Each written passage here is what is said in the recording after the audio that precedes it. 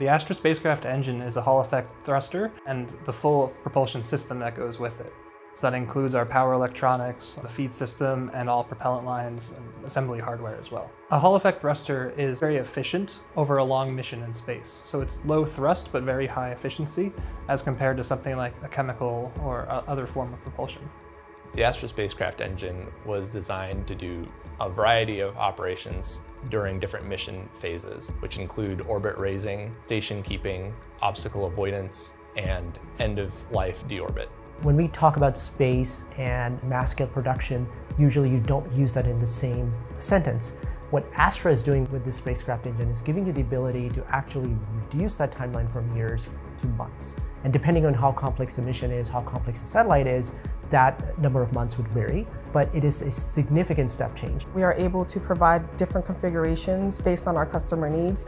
This includes multiple thrusters, multiple PPUs, multiple tanks as needed based on where the satellites need to go in orbit. Part of the advantage of us providing a full, complete propulsion system is that our components are designed to work together. And that's very different than procuring separate components from different suppliers and then having to figure out how to make them talk to each other and work in the most efficient way. And for other customers who are looking for shorter lead times, we offer the Spacecraft Propulsion Kit, which allows them to get access to our same technology, but at a much faster way, and then they can integrate and assemble it together according to their needs.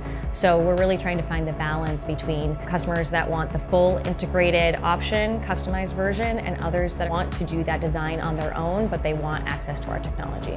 The ACE system is one of the few systems that has space heritage. So, you know, we've been on several missions now, and we have several thrusters in space. But in addition, our performance in terms of thrust and ISP is the very best of the systems.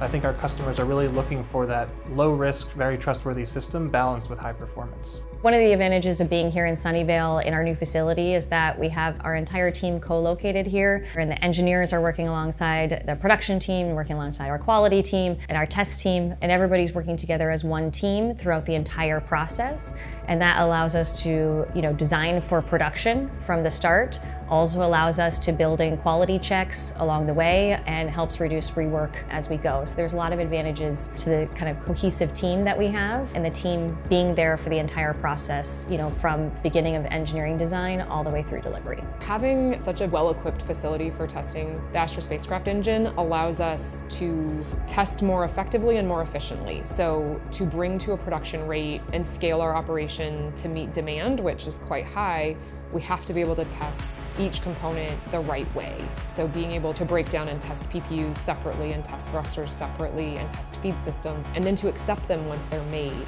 In having all of the space that this facility provides to us, we're able to do more things simultaneously, which is efficiency in a delivery sense and a timeline sense, but also do them better. So we're delivering a better, more thoroughly tested product to our customer.